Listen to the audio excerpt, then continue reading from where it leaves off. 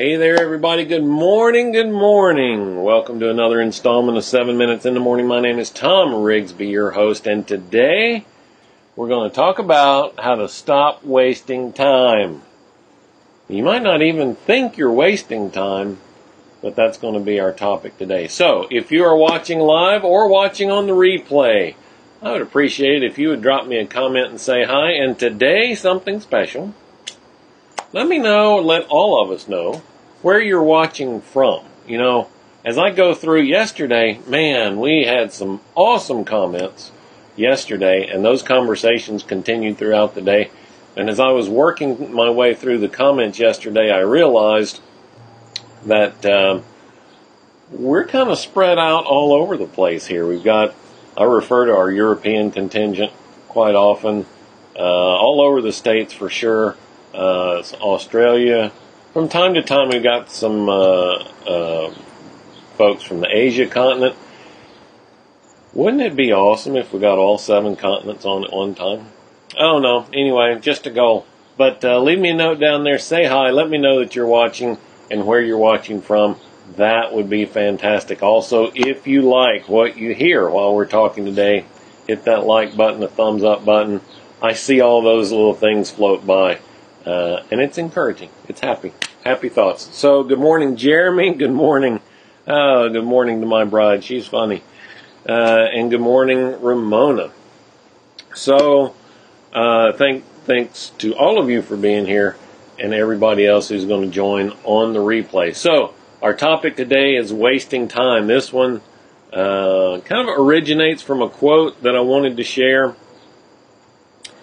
um, that, that kind of came up in my list. And I'll just go with it and we'll see where this goes. In the real world, everything you do rules out something that you can't do.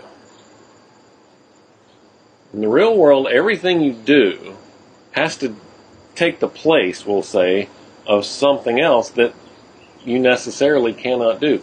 Anytime, another way I say this quite frequently is anytime you say yes to someone else's priority, you have to say no to your own. You can't say yes to someone else's demand without saying no to something of your own. That, that's just some of the limitations of the time space continuum that we live in, right? So you're making a choice. Here's how this plays out, and here's how it plays into wasting time. Very often, we wrap ourselves up in doing busy work. And it might not even feel like it's busy work. Yeah, that's stuff to be that needs to be done.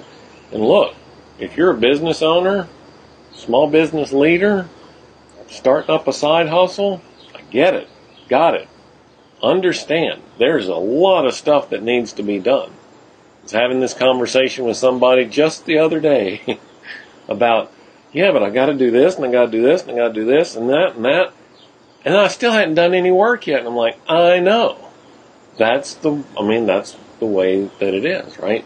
So just because there's a lot to do, here's the key point, right? Just because there's a lot to do doesn't mean you have to do it. So rather than ask the question, is this necessary? Right? Which is what we that's the question that we normally ask when we're talking about wasting time. Is this necessary? Do I have to do this? Right? Ask a different question. That question is, is this activity, is this thing I'm about to engage in, is this the best and highest use of my time? In that business context, right? When you're when when you're running the business, there's all kinds of things that need to be done. Can someone else do some of those things? What, what are the things that are uniquely yours in running the business? The things that only you can do. I, and it's not limited to business. Think about it at home. Think about it um, at work if you uh, if you're an employee. What are the things that only you can do to create value. Nobody else can do. You're uniquely gifted, talented, and placed to create value in this way. Those are the things that you should uh, focus your time on. I'm not saying those are the only things you can do.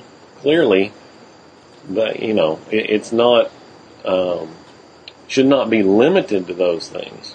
But when you have to make a choice and you have to decide where to put your time, always think about the best and highest use of your time. Is this activity that I am just about to engage in the best and highest use of my time? If you ask yourself that question, that just try it out today. If you don't believe me, that's fine. That's okay. Um, just try it for yourself today. As you go through the day and you're looking at your to do list, you're looking at your calendar, you get an email, you get a phone call, ask yourself, is this the best and highest use of my time? And I'll tell you one of the tricks that I use. I might be giving away a, a secret here.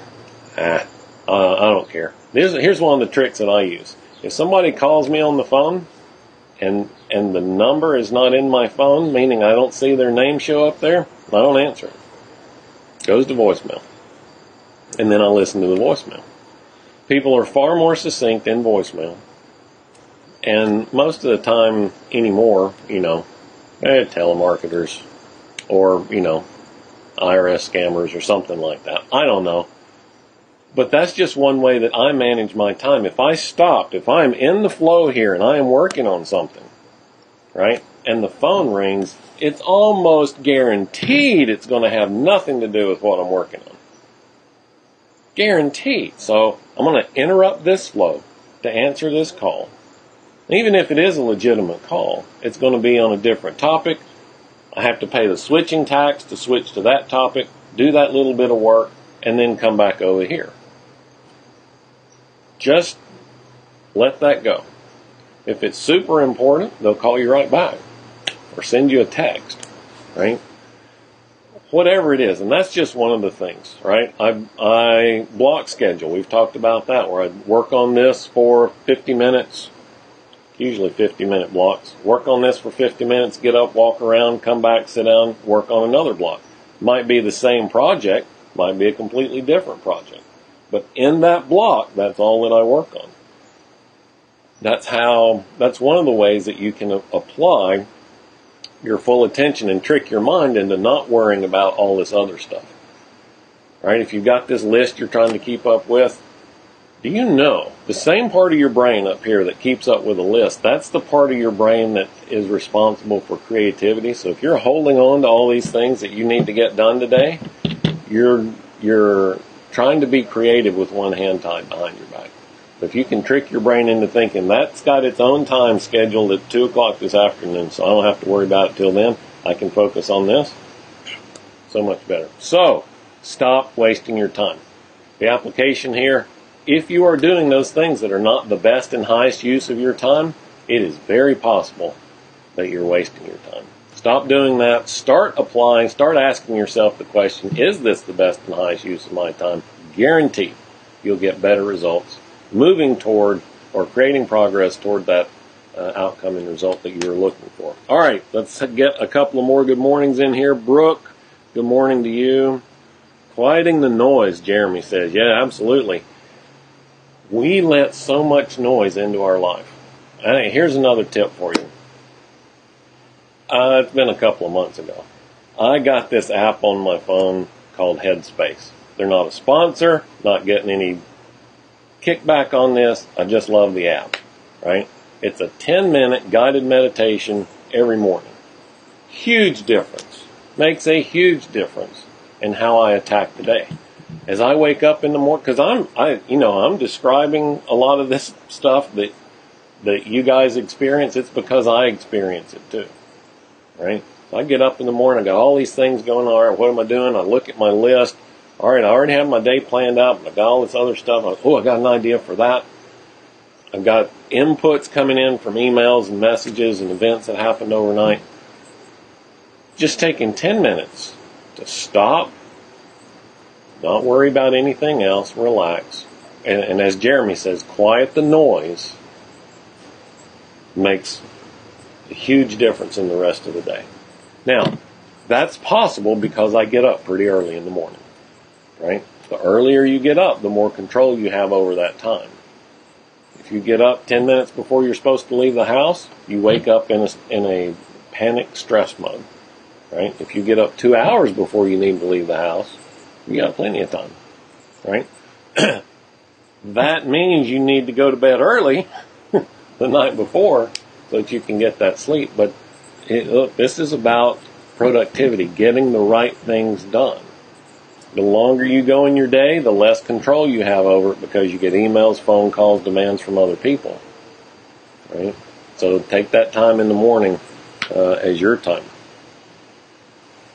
All right, Ramona says, I don't set up voicemail as it's a waste of my time listening to all the messages. If people know me or work with me, they send me a text or email and know and know I'm busy if I don't answer. I was good. Was spending too much time scanning voicemails that were useless. Yeah, absolutely.